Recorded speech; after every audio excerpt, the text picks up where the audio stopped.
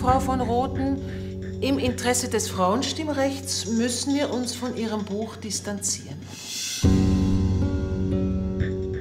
Besonders wichtig ist mir der Punkt Haushalt. Haushalt.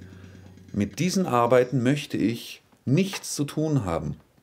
Sie glauben nicht wirklich, dass Mann und Frau gleich sind.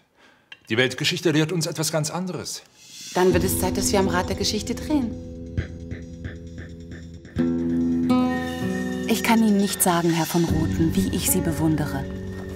Sie erscheinen mir wie ein griechischer Gott, der mich in Staunen und in Bewunderung versetzt. Beim Lesen Ihrer Briefe fühle ich das Blut in mir pulsen, weil Sie mir so ein namenloses Glück schenken. Ich vergehe vor Lust. Ich bin das Resultat von 2000 Jahren katholischer Antisexualität. Ich kann nur mit dir zusammenleben, wenn wir vollkommen gleichberechtigt sind. Was willst du, dass ich das hier alles aufgebe? Ich will mehr, auch sexuell.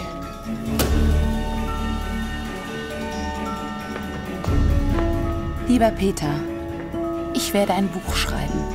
Sie sind eine Romantikerin.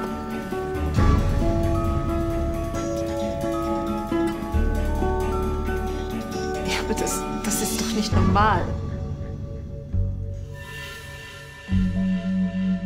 Was soll diese Motion für das Frauenstimmrecht? Die Zeit ist reif, Herr Bundesrat. Sie sind ein Nestbeschmutzer. Hier ist das Buch. Es ist für die weibliche Jugend geschrieben, die das Unmögliche will. Das ist etwas ganz Neues.